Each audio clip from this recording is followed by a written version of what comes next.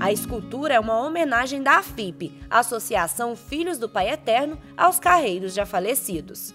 Uma lembrança para todos aqueles que passam aqui da importância destes que doaram suas vidas, é, doaram tempo de suas vidas, é, caminhando para cá, para a Trindade, como peregrinos, e a gente sabe o tanto que é sofrido, muito sofrido mesmo esse caminho, é, e pouco valorizado por muitos e muitas culturas também. O presente faz memória ao legado deixado às futuras gerações de toda a fé que os carreiros trazem nos diversos dias que passam na estrada em Romaria. A gente quer homenagear essas pessoas e reconhecer profundamente a fé que elas possuíram, a fé que elas deixaram como legado para nós que hoje ficamos e um dia também iremos.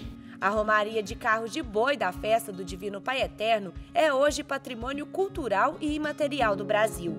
O título foi concedido em 2017 pelo IFAM, Instituto do Patrimônio Histórico e Artístico Nacional, pela relevância e representatividade da vida rural. Alegria, paz e muito amor é o que nós desejamos para você que acompanha o programa Pai Eterno. Tá só começando? Com certeza, mas já no início quero dizer uma coisa para você. Faltam apenas 10 dias para a Romaria, que tem como tema este ano Sede Santos como vosso Pai é Santo. Vamos de mãos dadas proclamar que o Pai Eterno é maravilhoso. Tô te esperando, hein? Mas o programa hoje está abençoado. Continue com a gente. Levantei cedo, juntei a boiada, a fé no peito e os pés no chão.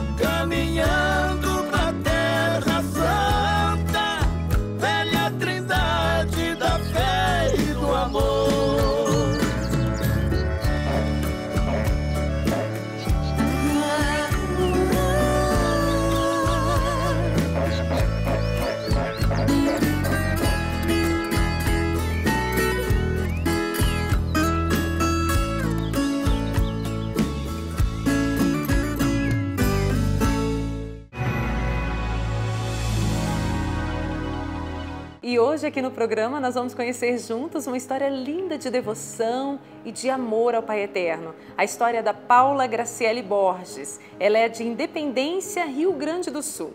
E ela nos conta assim: No ano de 2012, minha irmã Luciana passou mal e descobriu que tinha problema nos rins. Foram noites em claro no hospital, pois dava crises e ela não suportava a dor. Desde então, foi uma longa caminhada até os médicos descobrirem que ela tinha os rins ferradura, uma anomalia muito rara. Ela começou a se tratar, fazer os procedimentos, até que em 2018 teve uma grande infecção e ficou 30 dias internada. E a Paula continua contando. Os médicos decidiram não esperar mais para retirar o rim, pois havia um que tinha parado de funcionar. Minha mãe é muito devota do Divino Pai Eterno, sempre acompanha as novenas, toma água benta e oferece a todos os meus familiares. A cirurgia era considerada de risco, mas com a ajuda do Divino Pai Eterno, a cirurgia foi um sucesso. Hoje ela está bem e levando uma vida normal.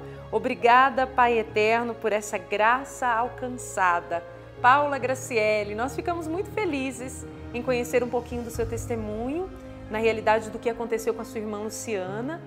Que bênção! Que o Divino Pai Eterno continue abençoando e concedendo muito e muita saúde para sua irmã, viu, Paula? E é claro, Também pedimos saúde, paz, esperança para todos da sua família. E que sua mãe continue acompanhando as novenas do Padre Robson, tomando água benta, que eu tenho certeza que isso tudo, essa fé, vai gerar muito mais obra nova na sua casa. E assim como a Paula, eu convido você a também acreditar sempre na bênção do Pai Eterno.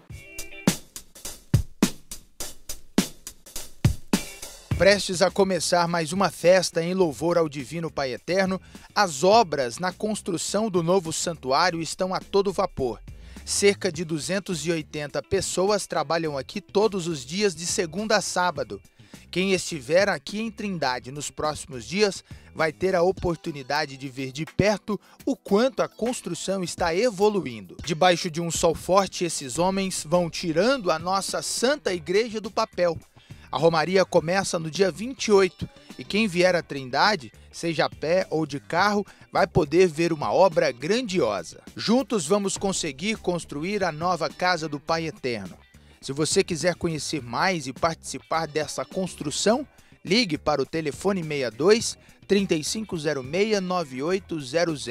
Sou muito grato àqueles que é, realmente estão conosco nesse trabalho, porque eu dependo de vocês e dependo das pessoas que começam conosco. Até chamo sempre, me ajude e chame outras pessoas boas como você para estar comigo nessa obra de evangelização. Isso é muito sério. E é o trabalho de construção da casa de Deus, que vai ficar aí por milênios. O Pai está de casa nova na internet. O portal paieternocom ganhou novo layout mais fácil de navegar, moderno e repleto de novidades. Aqui você encontra notícias da Igreja no Brasil e no mundo, Evangelho e Santo do Dia, apoio espiritual e as velas da fé. A página do Padre Robson, suas reflexões, homilias e mídias sociais. E tem ainda tudo sobre a Associação dos Filhos do Pai Eterno. Clicando aqui, você se associa de maneira simples e rápida e passa a fazer parte desta família de amor ao Pai Eterno.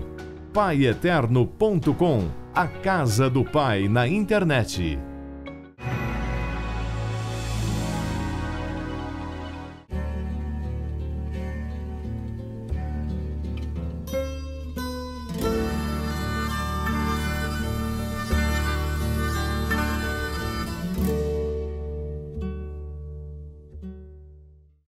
Estou aqui ó, com vários pedidos de oração. Você que deseja que o seu pedido seja dito aqui no programa, é só enviar para a gente, sempre na carta que você recebe do Padre Robson, tem essa parte aqui na carta ó, que você pode enviar as suas intenções e nós acolhemos com muito carinho. Inclusive, eu estou aqui com o pedido de oração da Eva, ela que pede por toda a sua família, pelo Manuel, pelo Francivaldo, está pedindo também que o Divino Pai Eterno conceda a todos a sua casa saúde, liberte o Romildo, liberte o Ronildo do vício da bebida, enfim.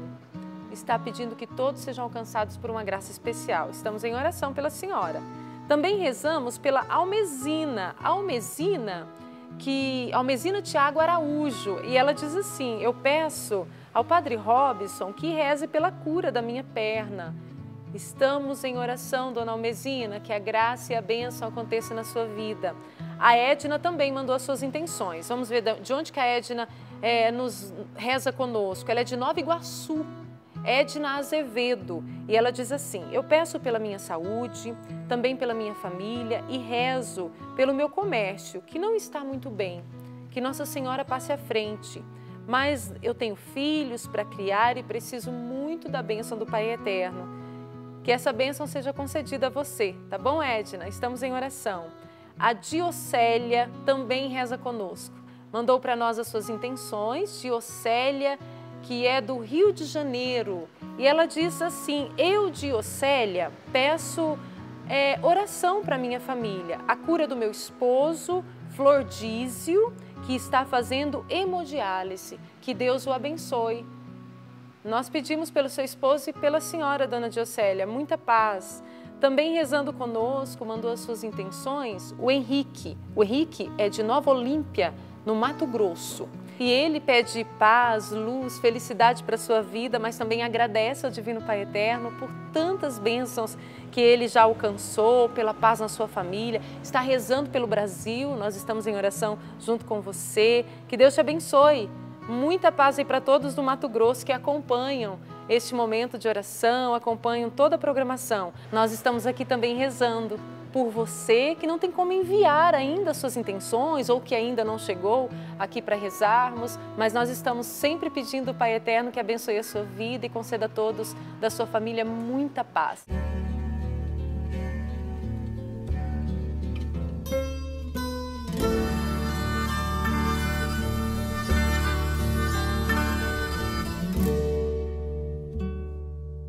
Busca de santidade, viemos te adorar. Caminhando em Romaria, queremos celebrar. Santo, Santo, Santo, sede santos como vosso Pai é. Santo. Romaria 2019, de 28 de junho a 7 de julho, Trindade, Goiás. Bye.